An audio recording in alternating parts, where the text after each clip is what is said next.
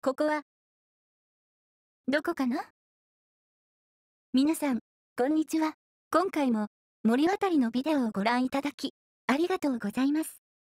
この動画は、宇宙サンドボックスゲーム、スペースエンジニアの関連動画です。今回は、せっかくのニューゲームなので、初心者の方と、コールドスリープから目覚めたら、毎回すべて忘れている私のような人に向けて、最序盤の進め方と便利技などをまとめます。好きなゲームは、忘れた頃によく再プレイします。また新鮮に楽しめますね。完全な新規の方は、シナリオのザ・ファーストジャンプで基本操作を知って、ラーニングトゥーサバイブでゲームの進め方を学ぶと良いと思います。特に、ラーニングトゥーサバイブでは、登場する様々な作業線をブループリント化することができます。採掘線などのブループリントをコントロール、B キーで取っておくと、いざサバイバルモードでニューゲームした時にプロジェクタを使って同じ船を作れます。ブループリントリストの確認は F10 キーです。そうしたら、カスタムゲームのスターシステムに挑戦してみましょう。1からのスタートになります。さて、前回紹介した地球の地形データで作られた星で遊びながら解説しましょう。せっかくなので地上スタートです。重力のおかげで宇宙スタートよりむしろ難しくなります。着陸地点は見渡す限り草原で地球でいうところのどこなのかわかりませんが、着陸機の電気や水素が切れないうちに活動拠点を築きたいと思います。着陸機のサバイバルキットは、この背面の黄色いコンベヤで、コンソールは右の隙間からアクセスします。ここの電源が落ちると、同じ場所にリスポーンできずにやり直しになりますので、その前に充電するなり、サバイバルキットを地上に移すなりしたいです。画面にキーが表示されている操作は大丈夫だと思いますので、それ以外を紹介しながら進めていきましょう。地域から Toolbar Configを開きまして、この画面はブロックを名前で検索して探したり、溶接道具などをツールバーに登録するのに使います。 Progression、進行に切り替えましょう。今は、技術ツリーの先頭だけ作ることができます。これを制作することで、技術ツリーを解放していきましょう。順番は、 Basic Assembler、Basic Refinery、Assembler、Refinery になります。それぞれ生成できる鉱石や、作れる素材が限定されていますので、順番に作る必要があります。その前に、まずは最初から作れる、 Wind Turbine で電源確保です。ここからが特に大事なところです。 Build Planner を使います。便利なのですが、チュートリアルには紹介がないです。要求素材リストをチェックして、必要な量を制作するのは大変です。それを代わりに管理してくれます。ホイールクリックし、ウィンドタービンとブロックをビルドプランナーに登録します。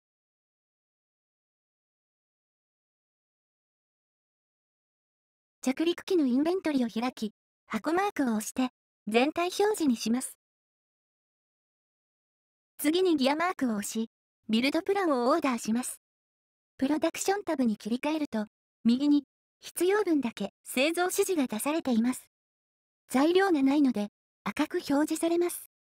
鉄などのインゴットが必要です。ドリルに持ち替えてストーンを採掘しましょう。一人称視点と三人称視点の切り替えは V キーです。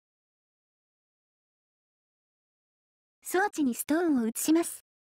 バックマークのついた矢印を押すと、鉱石などをすべてカーゴに戻してくれます。サバイバルキットは自動で生成してくれないので、インゴットの製造を手動で登録します。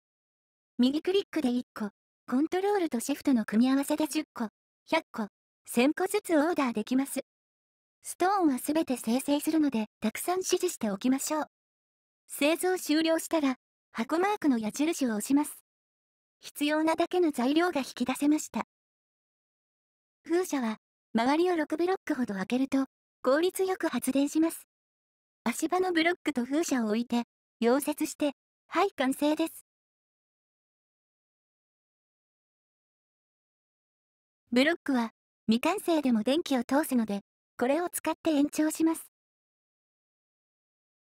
次は、サバイバルキットで作れないものを作ることができる、ベーシックアッセンブラーを立てましょう。立ちました。では、ストーン以外も生成できるようになる、ベーシックリファイナリを立てましょう。これらを立てるときは、黄色い大きな枠のコンベヤシステム同士をつなげていきましょう。アイテムを自動で必要な装置に配分してくれます。次にアッセンブラーを立てるのですが、コバルトが必要なメタルグリッドが作れないと思います。コバルトはストーンの生成からは入手できません。序盤の運試し、鉱石探しです。リファイナリを立てたので、鉄鉱石なども生成できるようになっています。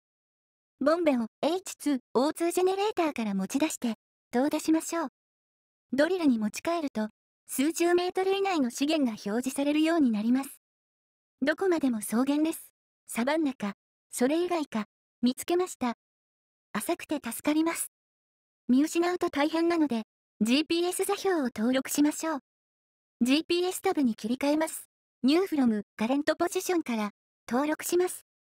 下のチェックボックスから表示を切ることもできますので、新しい鉱石を見つけたら、どんどん登録しましょう。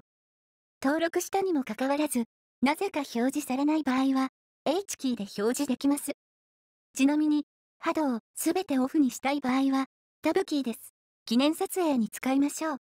コバルトとその他の鉱石を掘って基地へ戻ります。何回か往復してAssembler も完成です。ここまで来るとツール類もアップグレードできます。 Production タブで Build Planner になっているものをツールに切り替えて制作します。石の道具が鉄の道具になった感じでしょうか。 Build Planner から作る方法は説明しましたが、ここを Large Block や Small Block に切り替えて名前を検索し、オーダーすることもできます。あとは、必要材料がかなり増えますが、リファイナリを作りましょう。できました。ここまで来れば立派な活動拠点です。風車を増やしたり、バッテリーを設置したり、H2O2 ジェネレーターやサバイバルキットを基地側に設置したりするといいかもしれません。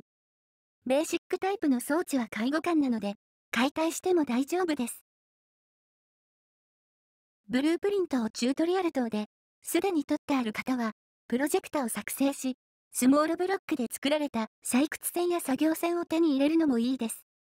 アイコンにプラスマークがあるブロックは、ショートカットを2回押すとスモールブロックに切り替わります。スモールランディングギアから設置し、バッテリー、プロジェクタを設置します。コントロールパネルも設置して、そこからアクセスし、プロジェクタを選択します。ブループリントボタンからリストを出して決定します。ホログラムの船体がきれいに接触できる位置に調節すると、溶接することができるようになり、設計図通りのものが完成します。もちろん、一から船や車両を作ったり、巨大建築したりするのも楽しいです。私としては、せっかく海のある星なので、海まで行き、果たして地球のどこなのか調べたいですが、ここまで進めれば、皆さんも操作はお手の物だと思います。ですので、この続きは別の機会です。この動画が役立ちましたら、高評価をいただければ励みになります。続編があればいいなと思われた場合は、この動画からチャンネル登録やコメントをいただければそれがわかりますので、よろしくお願いします。またお会いしましょう。